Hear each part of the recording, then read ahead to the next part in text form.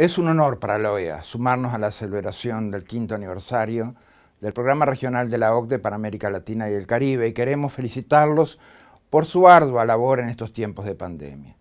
En sus cinco mandatos consecutivos, el secretario general Ángel Gurría ha impulsado la participación cada vez más amplia de América Latina y el Caribe al conocimiento desarrollado por la OCDE.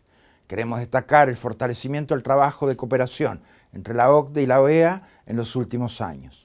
Colaboramos en materia de modernización del Estado, impulso de la agenda del gobierno electrónico, de la transparencia e integridad como pilares fundamentales del servicio público.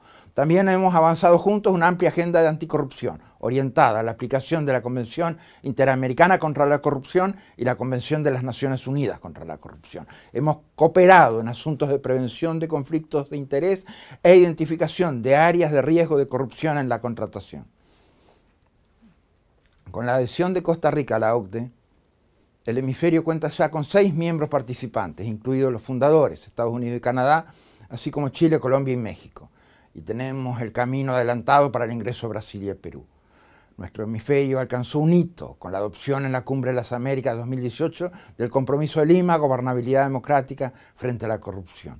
A partir de él, la OEA propició un proceso para fortalecer la coordinación entre las entidades que integran el Grupo de Trabajo Conjunto de Cumbres como mecanismo de apoyo técnico y financiero a los Estados miembros.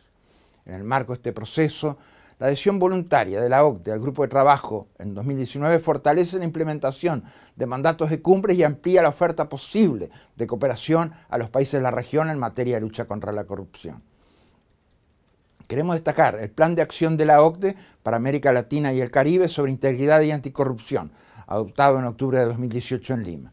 Estamos seguros que este trabajo conjunto seguirá fortaleciéndose de cara a la cumbre ministerial de la OCDE de 2021 en El Salvador, con un énfasis en tres áreas de interés. Primero, lucha contra la corrupción en programas de recuperación, compras públicas y proyectos de infraestructura. Segundo, tecnologías digitales como herramientas para mejorar la transparencia y la lucha contra la corrupción. Y tercero, el papel del sector privado y la cooperación internacional en el desarrollo de la región. Amigos y amigas de la OCDE, esperamos seguir estrechando lazos de cooperación en el marco del proceso de la novena cumbre de las Américas. La respuesta ante los desafíos de la región consiste en una mayor coordinación de actores y un reforzamiento del multilateralismo, no solo entre las entidades del sistema interamericano, sino también con entidades como la OCDE, que cuenta con una importante presencia y trabajo en las Américas. Muchas gracias.